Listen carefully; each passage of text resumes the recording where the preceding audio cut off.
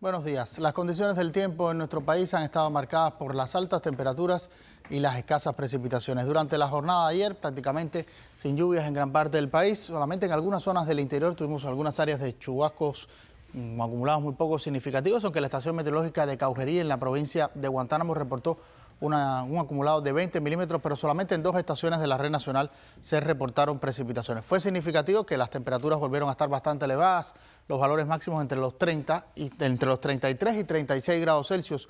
Nueve estaciones meteorológicas superaron los 36 grados y bueno, dos de ellas tuvieron reportes significativos. Santo Domingo, en la provincia de Villa Clara, reportó una máxima de 37.9 grados Celsius, un valor que supera la temperatura más alta medida en esa localidad, que era de 37.8 grados en abril del año 2020.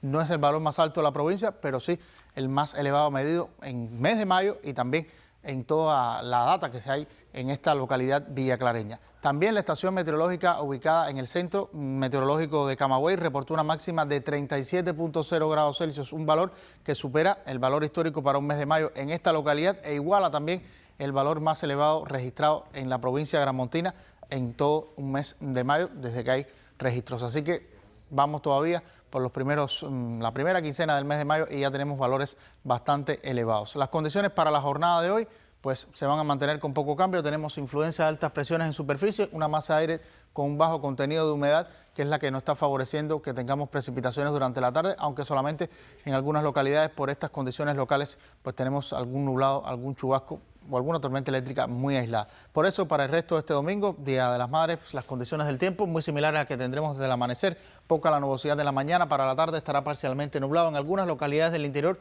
puede llegar a nublarse con lluvias escasas para la jornada de hoy. En la noche, predominio de poca nubosidad en el oriente, en zonas del centro y el occidente tendremos alguna nubosidad, pero principalmente nublados altos y por tanto tampoco tendremos lluvias durante el periodo nocturno. Eso sí, las temperaturas van a continuar bastante elevadas, no solamente las máximas en la tarde, por encima de los 33 a 36 grados Celsius, pueden ser superiores nuevamente en algunos puntos del interior, sino también durante horas de la noche los valores para el periodo nocturno estarán por encima de los 25, 27, 28 grados Celsius, pueden incluso en algunos puntos, sobre todo en zonas costeras, llegar a ser algo superiores a estas temperaturas durante la noche.